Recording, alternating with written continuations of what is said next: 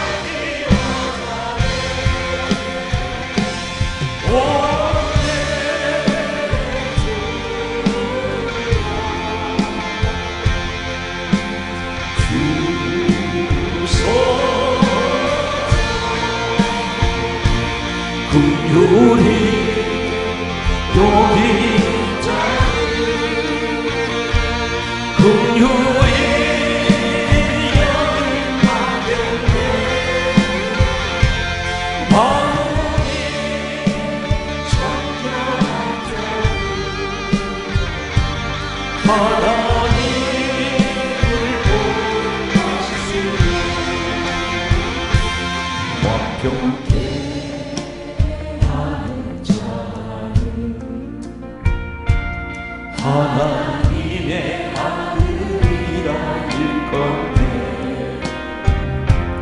의를 위하여 핍박받는 자. 천국이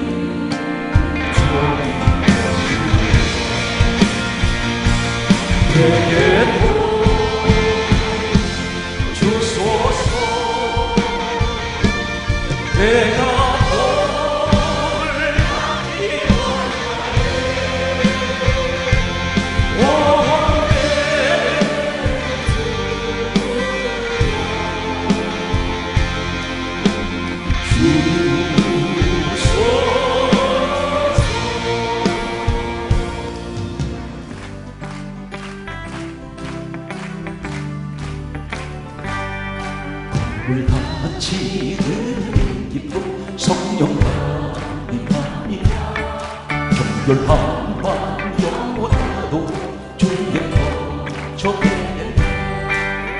주시는 참된 평화 내 맘속에 넘치 주의 말씀에 털새 풍랑도 잠잠하게 되고 나의 생명 소생해 성령이 마시니라 모든 이웃이 슬픔 사라 주의 평강 넘치 주님 주시는 참된 평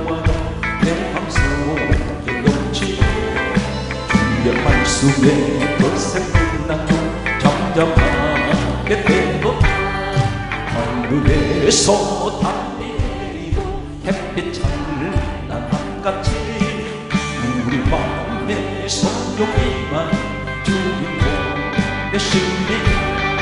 그 우리 주시는 참된 평화 내 맘속에 넘치니 그의 말속에 잠잠하게 되었다 새벽 시내 넘쳐흘러서 마음과 나 조심히 문제 열매 부르어서 주수를 기다리네 주시는 참된 평화 내 맘속에 넘치네 주의 말씀에 거센 잠잠하게 되었다 놀라우신 주의 다시 보겠네 평화 모은 안식 전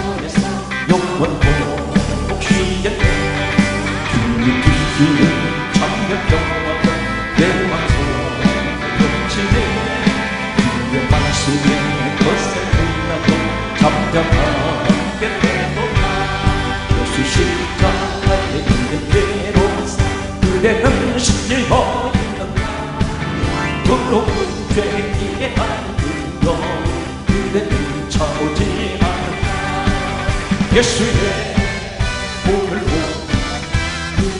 신기하였다 마음 속에 영원한 죄가 깨끗이 신기하였다 주 예수와 하수원을 그대는 행복을 아무데나 어디든지 그대 십자가 있는가 예수의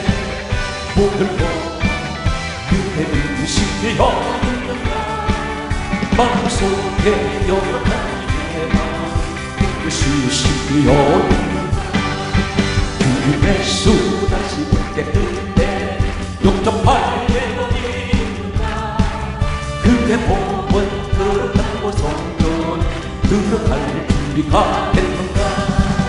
예수의 몸을 보고 그대는 신기하였는가?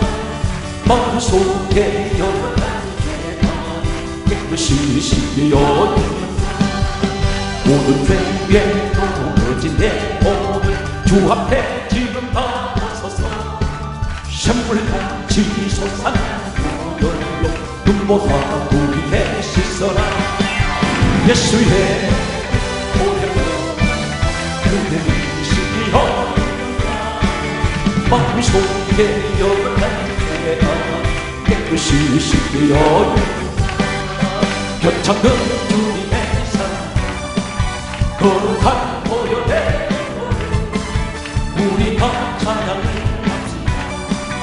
주님을 만나볼 때까지 예수는 우리를 깨끗게 하시는 주신 그의 피 우리를 눈보다 보이게 하셨네. 우리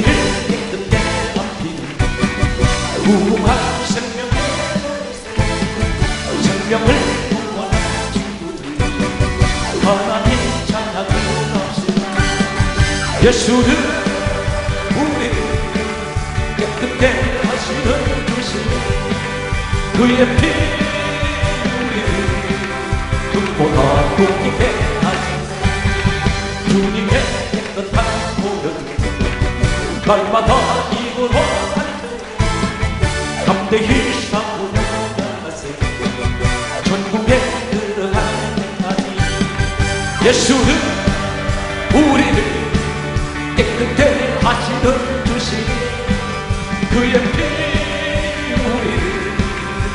보다 십자가 십자가. 날마다 이기려 나가세 우리의 연료와 수고서 주 앞에 찬양 주여! 할렐루야! 주여! 깨 하시는 주신 그의 피 우리를 눈보다 보인 십자가 십자가 튼튼히 붙잡고 날마다 이기며 나가세 우리의 연료와 수고서 주 앞에 찬양할 때까지 예수는 우리를 깨끗게 하시는 그의 피 눈보다 보이게 이 세상에 내가 살면서 찬송 부르리 나의 종으로 오락하시. 영광 중에 나 열린 천국 문을 들어 세상 힘을 내려. 빛나며 유관 하시고 주와 함께 다스리리 눈물 골짜기 누르면서 나의 걸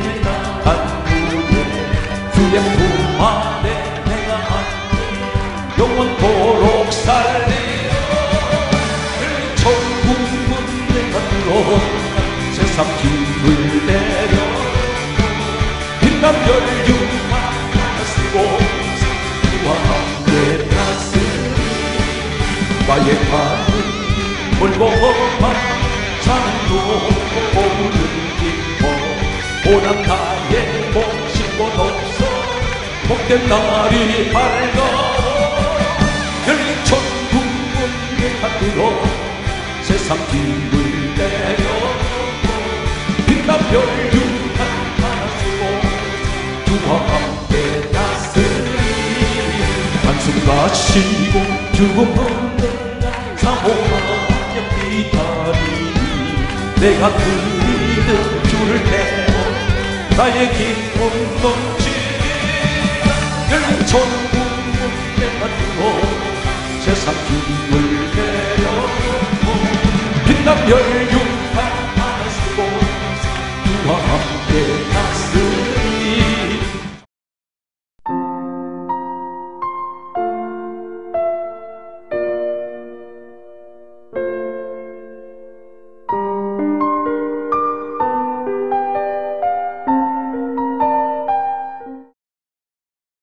사람이 살아가는 데 있어서 이 시대는 또 과거에 인류가 시작된 시대로부터 지금까지 또 앞으로도 마찬가지입니다. 사람에게 필수적인 세 가지가 반드시 있어야 됩니다. 물이 있어야 합니다. 공기가 있어야 됩니다. 불이 있어야 합니다. 이 세 가지 중에 한 가지라도 없으면 사람이 생존할 수가 없습니다. 우리 신앙생활에서 생명 같은 한 가지가 있습니다. 그것은 곧 은이라는 것입니다. 오늘 이 자리에 교회를 아마 지금까지 수십 년 동안 아니면 태어나기 전부터 우리 집안은 대대로 모태 가정, 다시 말해서 몇 대째 하나님을 섬기는 그런 신실한 가정이라고 자랑하는 분들이 있을 것입니다. 그런데 교회에서 여러 가지 직분도 가지고 계실 것입니다. 그런데 마음이 말라서 기근이 왔습니다. 쩍쩍 갈라져 있습니다. 마치 비가 내리지 않는 논바닥이 쩍쩍 갈라진 같이 내 심령은 보이지 않는 곳에 쩍쩍 갈라져 있습니다. 다른 것은 부족함이 없습니다. 신앙생활에서 항상 타성에 젖어 있습니다. 마치 산 송장처럼 내 60만 왔다 갔다 할 뿐이지 마음에 전혀 감동이 없습니다. 이것은 다시 말해서 은혜가 말랐기 때문입니다. 항상 짜증스럽습니다. 그리고 모든 것이 마음이 강팍해지기만 합니다. 사람이 점점 자신 모르게 악해져 가는 것을 보게 됩니다. 입에서 나오는 소리가 전부 다 독설입니다. 은혜의 소리는 전혀 찾아볼 수가 없습니다. 이 사람이 누구입니까? 초신자입니까? 그렇지가 않습니다. 불행히도 한국 교회가 지금 현주수가 그렇습니다. 대개가 교회 안에 보게 되면 원망의 소리가 난무합니다. 그리고 전부 다 남의 탓으로만 손가락질하는 시대가 바로 이 시대입니다. 교회 조그만 문제가 생기면 항상 다른 사람의 탓으로만 돌립니다. 나하고는 아무 상관이 없는 그런 방관자 그리고 제3의 자리에 서 있는 그런 모습들을 보게 됩니다. 오늘 따라서요 은혜를 회복하자. 자 우리 인사하겠습니다. 은혜를 회복합시다. 자 주목합니다. 오늘 이 시간 말씀을 듣는 가운데 저는 여러분들에게 약 3, 49절을 신구약에서 소개되고 있는 은혜라는 이 사실을 여러분께 소개하면서 말씀을 전하는 저도 함께 은혜가 회복되는 시간이 되기를 소망합니다. 하나님께서 오늘 성경 본문에 보게 되면 출국기 33장 19절은 다음과 같이 말씀하고 있습니다. 대단히 중요한 말씀은 내가 은혜 줄 자에게 은혜를 주고 내가 긍휼히 여길 자에게 긍휼을 베푸느니라. 이 말씀에서 한 가지를 우리 심각하게 생각해야 됩니다. 은혜는 아무에게나 주시는 것이 아니라는 것입니다. 하나님께서 은혜 줄 자에게 은혜를 주신다 했습니다. 오늘 이렇게 말씀하시는 하나님은 누구십니까? 성경은 빌립보서 2장 6절은 다음과 같이 말씀하고 있습니다. 근본 하나님 본체 되신 분이 예수 그리스도가 말씀하고 있습니다. 오늘 주님께서 그렇게 말씀하고 있습니다. 나는 반드시 은혜 줄 자에게 은혜를 주고 긍휼히 여길 자에게 내가 긍휼히 베풀 것이다. 오늘 긍휼을 베푸시는 우리 주님은 성경은 이렇게 강조하고 있습니다. 요한복음 1장 14절은 말씀하시기를 예수님을 가리켜 이렇게 말씀합니다. 은혜와 진리가 충만하신 분이라 했습니다. 우리 주님은 은혜와 진리가 충만하십니다. 오늘 여러분들이 가지고 있는 이 은혜라는 것은 돈으로 사는 것이 아닙니다. 세상 권력으로 사는 것도 아닙니다. 세상 명예로 얻을 수 있는 것도 아닙니다. 세상 어떤 지식을 가지고 있다 할지라도 당신이 세계적인 천재라 할지라도 은혜는 그렇게 내 머리로 내 지식으로 얻어지는 것이 아닙니다. 이 은혜는 세상 것을 다 주고도 바꿀 수 없는 가장 귀한 것인데 성경은 이렇게 강조하고 있습니다. 요한복음 1장 17절은 성경은 다음과 같이 말씀하고 있습니다. 은혜와 진리는 예수 그리스도로 말미암아 온 것이라. 오늘 은혜는 누가 주셨습니까? 주님이 주셨습니다. 은혜와 진리는 예수 그리스도로 말미암아 우리가 주셨다 했습니다. 그렇다면 이 은혜가 있는 곳에는 반드시 주님이 계십니다. 오늘 사랑하는 여러분 은혜가 어떤 것인가요? 내가 교회 생활에서 여러 가지 신앙 생활에 지금까지 찌들립니다. 환경은 말할 수 없이 나를 궁지로 몰아넣고 있습니다. 마치 다니엘이 사족으로 들어간 같이 그런 사족을 속에 들어가 있는 내 모습을 발견합니다. 환경은 하나도 풀리지 않습니다. 그런데 항상 내 마음은 주님만 생각해도 기쁩니다. 감사가 있습니다. 늘 마음속에 잔치하는 분위기입니다. 늘내 입가에는 웃음이 있습니다. 이 삶의 도대체 환경을 보게 되면 웃을 일이 없습니다. 늘 괴로워해야 됩니다. 가장 비참하게 생각해야 되고 고통스러운 자리에서 탄식해야 될 사람이 찬양하고 있습니다. 웃고 있습니다. 사람들에게 한 번도 불평 원망하는 소리 하지 아니하고 항상 남에게 격려의 소리, 감사의 소리, 남에게 기쁨의 소리만 주고 있습니다. 이것이 바로 은혜라는 증거입니다. 오늘 성경은 말씀하고 있습니다. 그렇다면 하나님 어떻게 하면 내가 이 은혜를 받을 수가 있을까요? 은혜를 아무에게나 주시는 것이 아니라 했는데 그렇다면 오늘 이 자리에 이 말씀을 들으면 반드시 은혜 줄 자에게 주신다 했으니 오늘 하나님 그 말씀을 내게 가르쳐 주세요. 성경은 이렇게 강조하고 있습니다. 욥기서 33장 26절은 다음과 같이 말씀하고 있습니다. 하나님께서는 기도하는 사람에게 은혜를 베푸시느니라 말씀합니다.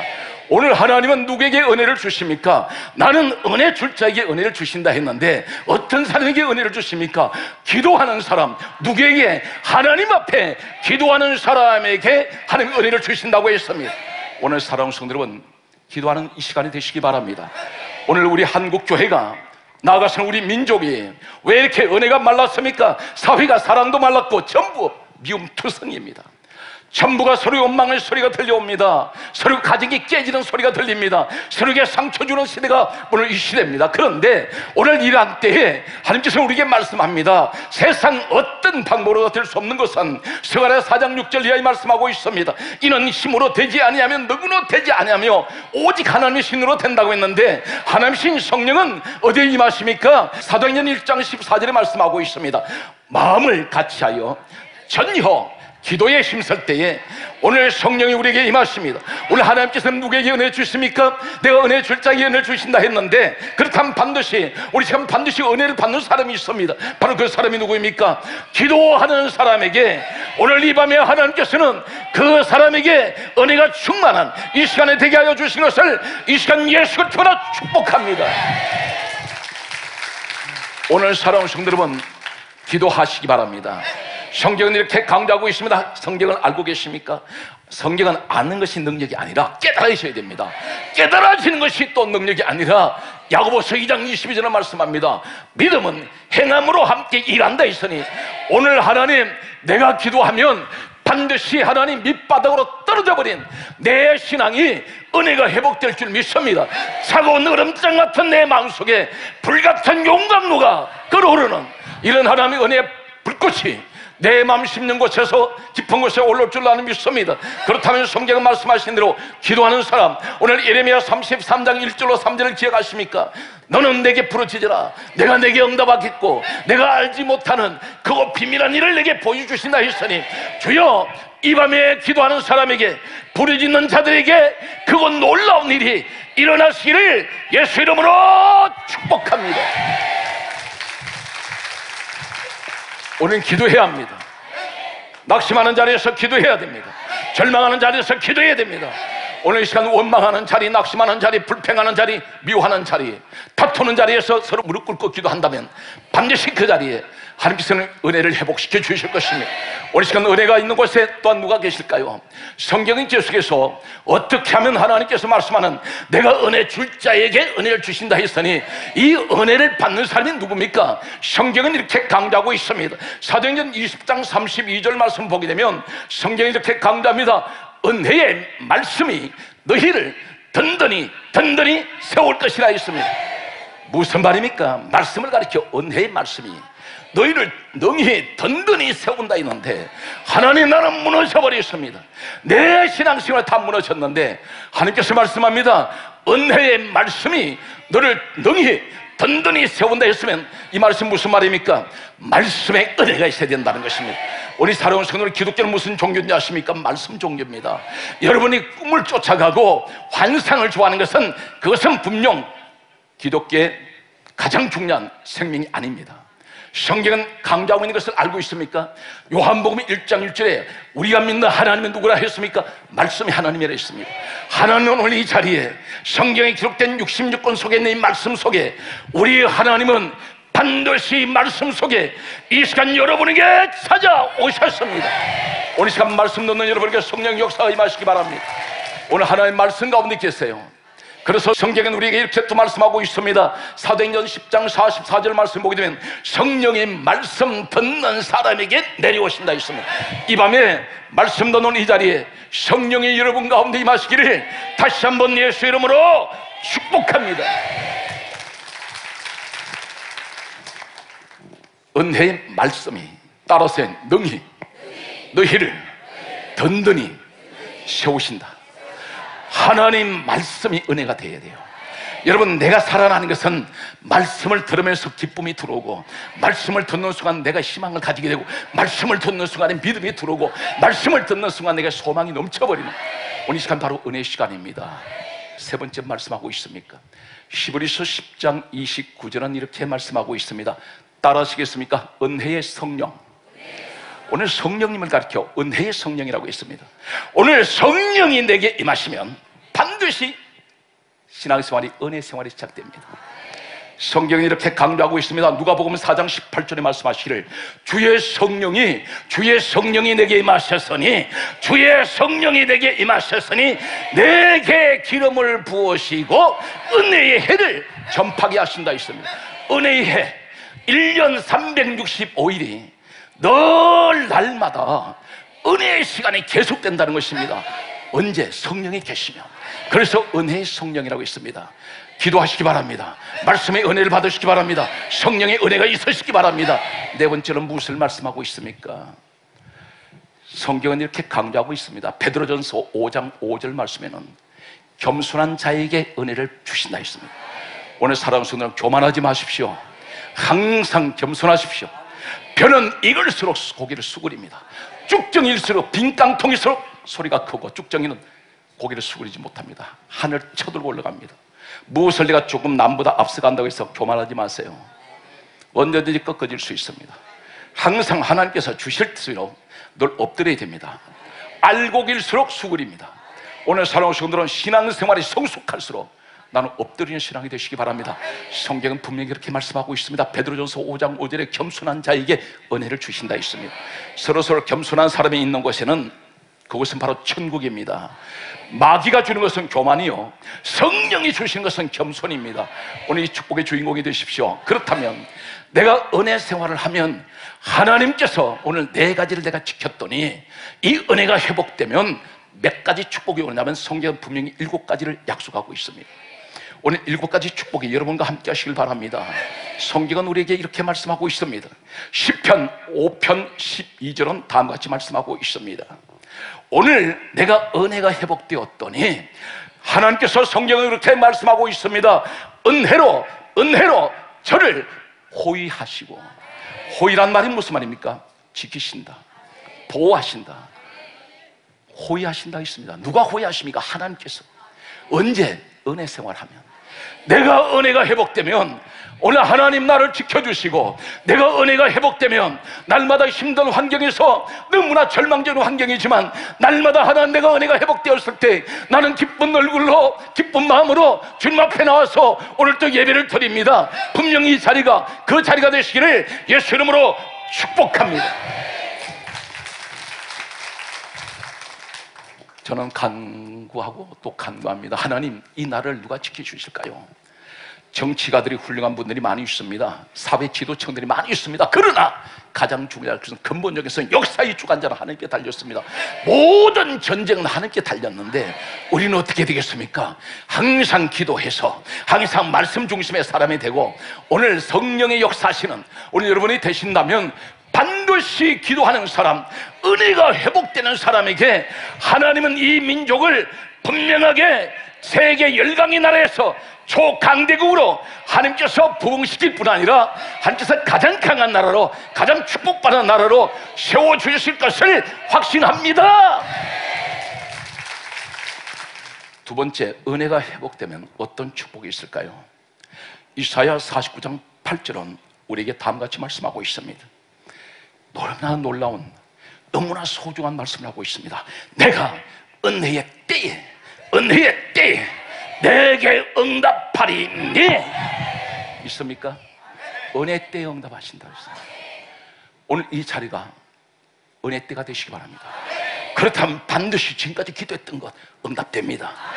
오늘 내가 말씀 듣고 있다가 찬양하다가 내가 기도하다가 이 은혜가 회복되면 이 은혜의 때를 만나면 반드시 하나님 그동안 기도했던 내 육신의 질병이 바로 오늘 시간 치료되는 이 응답의 주인공이 여러분이 되실 것을 저는 확신합니다. 하나님께서 성경에 말씀하시기를 베드로전서 5장 7절 이하에 뭐라고 말씀합니까? 너희 염려를 다 죽게 맡겨버리라. 오늘 맡기다 했지 않습니까? 어떻게 맡겨집니까? 은혜가 회복되면 이 속에 있는 것들, 더러운 것들이 다 도망가 버립니다. 순식간에 부정적인 것은 다 떠납니다. 항상 긍정적으로 되어버리고 늘 소망이 일어나고 늘 감사만 일어나고 반드시 꿈을 가지게 됩니다. 절대 부정적이지 않습니다. 절망하지 않습니다. 오늘 시간 바로 그 시간 되시기 바랍니다. 계속해서 말씀을 여러분에게 소개합니다. 세 번째, 누가복음 1장 28절 말씀 보게 되면 가장 천박한 한 여인이 있었습니다. 대단히 연약한 여인이었습니다. 그 여인은 바로 예수님을 몸에 잉태했던 마리아라는 여자입니다. 이 여자가 비천한 여자입니다. 대단히 가난한 여인이었습니다. 그런데 것은 지금은 이 마리아를 모르는 사람이 없습니다. 모든 시대에 예수님께서 이 땅에 오신 이후에 2000년 역사 속에 마리아는 대단히 유명하며 훌륭한 여인으로 인정받고 있습니다. 왜 그렇게 되었을까요? 하나님께서 인정하셨고 천사가 와서 입으로 전해주는 첫 마디는 누가 보면 1장 28절에 다음같이 말씀합니다. 은혜 받은 자요. 은혜 받은 자요. 평안할지어다. 주께서 너와 함께 계시도다. 은혜를 받으면 은혜를 받으면 내 마음에 평안이 옵니다. 오늘 이 시간 여러분 은혜 받은 자가 되십시오. 은혜 받으면 내 마음이 마리아처럼 평안이 옵니다. 누가 그 말을 하고 있습니까? 천사가. 오늘 이 시간 여러분이 그 주인공 되시기 바랍니다. 주여 내게 이 은혜를 내게 주시옵소서. 주여 한국교회에 이 은혜를 주시옵소서. 그러면 한국교회가 분명히 평안해질 것을 확신합니다. 은혜 받으면 평안이 오게 되어 있습니다. 하나님 그러므로 한국 교회가 더 이상 분쟁하지 않는 평안한 한국 교회 사회가 더 이상 갈등하지 않는 대한민국 평안한 대한민국 모든 국민들이 하나님께서 말씀하시는 은혜가 임하고 은혜가 회복되면 반드시 찾아오는 것은 평안이 옵니다. 그리고 그 다음에 하신 말씀이 뭐라고 말씀합니까? 임마누엘의 하나님. 무슨 말입니까? 주께서 너와 함께 계시도다. 오늘 잘 들으세요. 은혜가 임해야 평안이 오고 평안이 와야 주님이 함께 하세요. 임마누엘입니다. 순서가 이렇게 가야 됩니다. 오늘 하나님 우리의 은혜가 회복되는 바로 이 시간이 축복의 시간입니다. 네 번째, 내 어떤 축복이 있을까요? 성경은 이렇게 강조하고 있습니다. 사도행전 6장 8절 말씀 보게 되면 서디반이라는 사람이 있었습니다. 이 서디반이 성경은 뭐라고 정언하냐면 은혜와 권능이 충만한 사람이라 했습니다. 성경은 놀라운 사실 한 가지를 발견하게 됩니다. 은혜와 권능이 충만했다 했는데 은혜 따로 권능이 따로가 아니에요. 은혜가 오면 권능을 주세요. 은혜가 충만하면 권능이 충만합니다. 서대반에게 하신 말씀은 은혜와 권능이 충만하다 있습니다. 오늘 사랑 성들은 권능 다시 말해서 능력 받기 원하십니까? 하나님이 주시는 능력을 받기 원하세요? 그러면 전제가 무엇입니까? 은혜가 있어야 됩니다. 항상 사람들에게 상처 주지 말고 사람들에게 실족시키지 말고 항상 내 입에서 나오는 소리마다 시들어져가는 사람, 실망하는 사람, 실족한 사람 이 사람들을 다시 살려내는 은혜의 입술이 되게 하시고 은혜의 마음을 주세요. 그렇다면 이 입을 통해서 주의 권능이 여러분에게 임할 것을 확신합니다.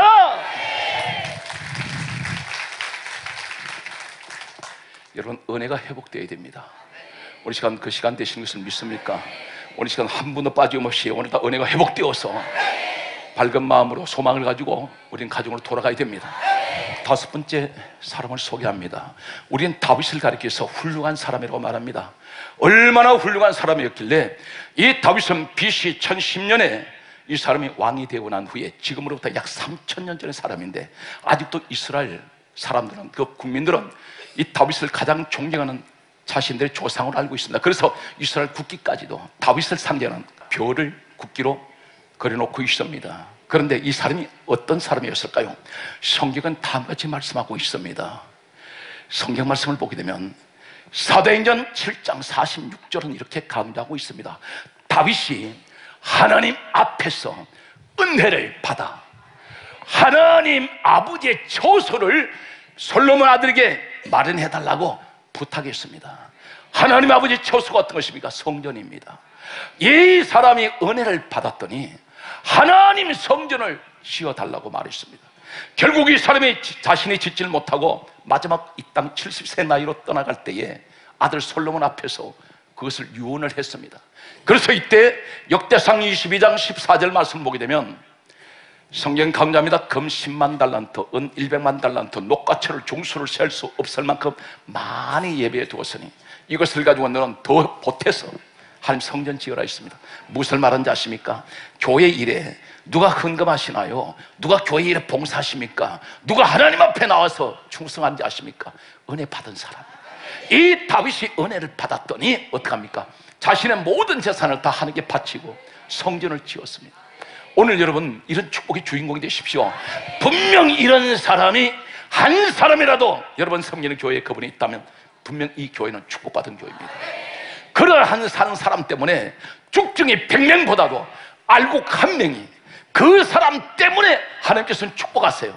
그 사람 때문에 하나님 교회가 잘 되게 되어 있습니다. 오늘 여러분들이 바로 그 주인공이 되시기를 예수 그리스도 이름으로 축복합니다.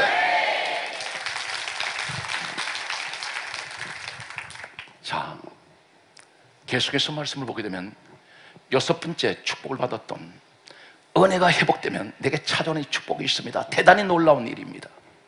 어떤 일이 있을까요? 로마서 6장 15절은 다음같이 말씀하고 있습니다. 은혜 안에, 은혜 안에, 은혜 아래에 있으면 따라서 죄 짓지 않습니다.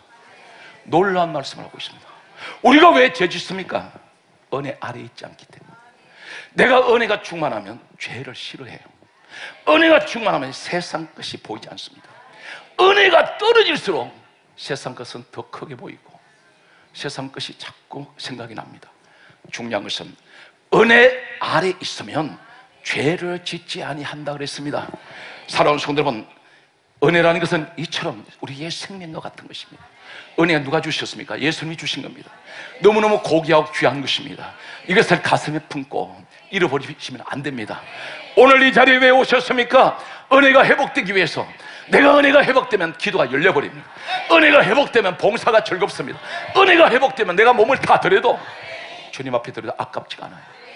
후회하지 않습니다. 그런데 은혜가 바닥을 칠 때에 모든 것이 다 아깝고 싫습니다. 한 가지 여러분 이런 체험해 보셨습니까? 어느 날 내게 은혜가 충만할 때는 하나님 앞에 뭘 들어도 아깝지가 않았습니다. 그런데 어느 날 하나님 앞에 내가 예물을 드릴 때에 단돈 만 원짜리 한 장 드릴 때도 갑자기 아까운 생각이 들어옵니다. 이 사람이 과거에 그런 사람이 아니었습니다. 백만 원, 천만 원도 드려본 경험이 있는 사람인데 어느 날 만 원 한 장 드릴 때 마음이 갑자기 인색한 마음이 들어옵니다. 왜 그런지 아십니까? 은혜가 떨어져 버렸기 때문에. 은혜가 다시 회복되면 첫사랑으로 돌아갈 수가 있습니다.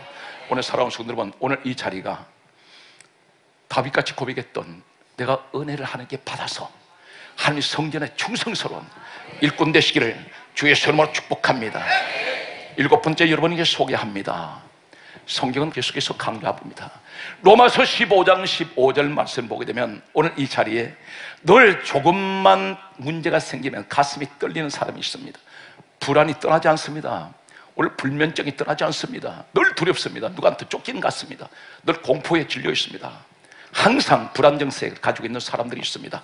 이 사람을 가리켜서 신경쇠약이라고 말하기도 합니다. 그런데 중요한 것은 오늘 은혜가 내게 임했더니 어떤 일이 생깁니까? 로마서 15장 15절은 이렇게 말씀합니다.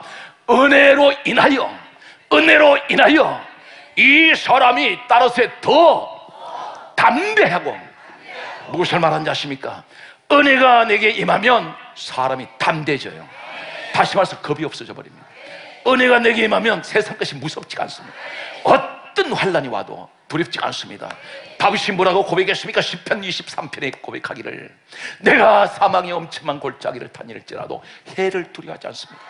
무엇을 말합니까? 내가 죽음의 골짜기에 내려간다 할지라도 나는 두렵지 않습니다. 왜 그렇습니까? 어떤 믿음을 가지고 있나요? 어떤 담담이 있습니까? 주께서 나와 함께 하심이라. 이것이 다윗의 믿음이었습니다. 다니엘이 사자굴 속에 들어갈 때 어떤 생각을 가지고 들어갔을까요? 지켜 죽을 것이 아닙니다. 하나님께서 이 사자굴에도 내가 들어가도 하나님은 사자굴에 들어간 나를 지켜주실 것이다. 오늘 이런 담대한 믿음을 가지고 들어간 이 다니엘은 당당했습니다. 사자 앞에서. 오늘 사랑하는 성도 여러분, 언제 내가 담대해질 수 있나요? 은혜 받으면. 이 은혜가 내게 임하면 환경이 아무리 힘들어도 그것이 힘든 줄 모릅니다. 두렵지가 않습니다. 오늘 이 자리에 살아온 성도 여러분들이 바로 이 담대한 믿음을 가지는 은혜의 사람이 되시기를 주 예수 이름으로 축복합니다. 사랑하는 성도 여러분, 우리는 일곱 가지를 이 은혜가 회복되면 내가 받는 축복을 소개했습니다. 그런데 성경은 다음과 같이 계속해서 우리에게 이렇게 말씀하고 있습니다. 그러므로 우리에게 무엇이라고 말씀합니까? 구약 성경의 사실 말씀이 아니라 신약 히브리서 12장 28절에 이렇게 말씀합니다. 우리가 진동치 못할 나를 받았은적 은혜를 받자. 이로 말미암아 경건함과 두려움으로 하나님을 기쁘시게 섬길지니 진동치 못할 나를 우리가 받았습니다. 우리 육신은 흙덩어리입니다. 전혀 끄떡도 하지 않아요. 그런데 언제 움직입니까? 은혜를 받았더니 은혜를 받았더니 내 스스로가 교회를 찾아갑니다. 은혜를 받았더니 스스로 무릎을 꿇고 기도합니다. 은혜를 받았더니 내가 봉사자들 찾아갑니다. 은혜를 받았더니 그 전에 성경책을 들고 다니는 것만도 부끄러워했는데 당당하게 성경책을 들고 길거리 지나가면서 낯선 사람 만나서 전도합니다. 진동치 못할 나라를 받았던 우리가 은혜를 받았더니 어떻게 됩니까? 경건해져 버려요. 하나님을 두려워합니다. 오늘 여러분 하나님을 기쁘게 섬긴다는 것입니다. 오늘 이 자리가 바로 은혜의 자리입니다. 오늘 시간 사랑하는 성도 여러분 은혜가 회복되신 분들만 손들고 아멘. 오늘 여러분에게 분명히 은혜가 회복된 줄 믿습니다. 계속해서 성경은 우리에게 그러므로 마지막 때에 어떻게 성경은 우리에게 말씀하고 있습니까? 성경은 이렇게 강조하고 있습니다. 스가랴 8장 21절의 말씀 보게 되면 성경은 다음같이 말씀합니다. 여호와께 은혜를 구하자 할 것이면 나도 가겠노라. 사람들이 그렇게 말하고 있습니다. 우리가 하나님께 은혜를 구하는 것이 있으면 나도 따라가겠다는 것입니다. 성경은 계속해서 말씀을 보게 되면 스가랴 8장 23절에 이렇게 말씀하고 있습니다. 열국 백성 10명이 유다 사람 한 사람 옷자락을 잡고 말하기를 여호와께서 너희와 함께 계심을 우리가 들었나니 우리도 너와 함께 따라가려 하노라. 이 서가랴서는 예언서입니다. 마지막 때에 어떤 징조가 일어나냐면 전부 세상이 교회 은혜가 말라버립니다.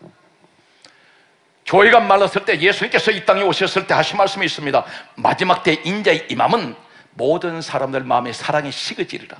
그렇게 말씀하셨는데 오늘 은혜가 말라버린 시대에 열국 백성 열명이 열국이 됩니까? 동서남북의 모든 나라에 하나님 믿는 사람들이 은혜를 사모하고 있는데 한 사람 옷자락을 잡았어요. 그리고 하는 말이 너희에게 하나님이 함께 하심을 우리가 분명히 들었다. 그러므로 우리도 너와 함께 가리하노라. 무슨 말인지 아십니까? 이 시대는 열 명이 은혜 사람 한 사람 옷자락 잡는 시대입니다. 여러분 어디로 찾아가시겠습니까? 화려한 근본을 찾아가십니까? 많은 사람들이 구름대 모였으니 그렇게 많이 모인 곳이 꼭 그곳에 은혜가 있나요? 아닙니다. 중요한 것은 가장 중요한 것은 성령이 역사하시는 이 은혜를 찾아가는데 누구 사람 잡아야 됩니까? 누가 손 잡아야 됩니까? 누가 신앙생활에 동업을 해야 됩니까? 은혜 사람과 동업을 해야 되는데 이 시대는 그런 사람 잡아야 됩니다. 왜 그렇습니까? 사도행전 3장 1절 말씀 보게 되면 나면서 안전병이 된 사람은 이 사람은 꿈에도 자신이 일어날 것은 생각도 안 했습니다. 상상하지 않았습니다. 그런데 어떤 사람 만났습니까? 성령의 사람, 은혜의 사람, 베드로와 요한을 만났을 때에 베드로 요한이 이렇게 말합니다. 내게 은과 금은 내게 없거니와 내게 있는 것을 내게 주노니 곧 나사렛 예수 그리스도 이름으로 일어나 걸어라. 잡았더니 일어나요. 누가 손잡아야 됩니까? 은혜 사람하고. 오늘 여러분 가운데 이런 사람이 되시기 바랍니다. 은혜 사람과 손을 잡아야 돼요.